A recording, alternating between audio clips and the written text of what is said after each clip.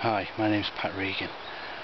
Today I'm going fishing on the Hodder. I just thought you may like to see one of the most beautiful rivers in England. This is it. It's a beautiful place.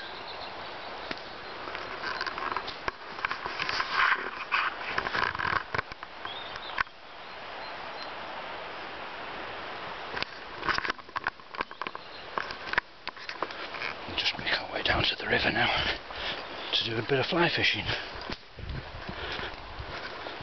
There it is, you can see it through the trees. Absolutely beautiful.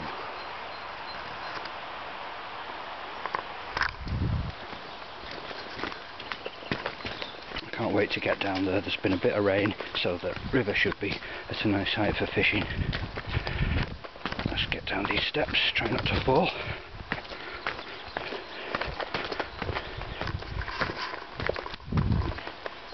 Okay, we've made it. There's Hodder. In all its glory. Fantastic.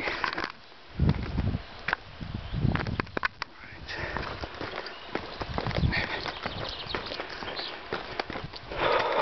Okay, let's cut across the meadow.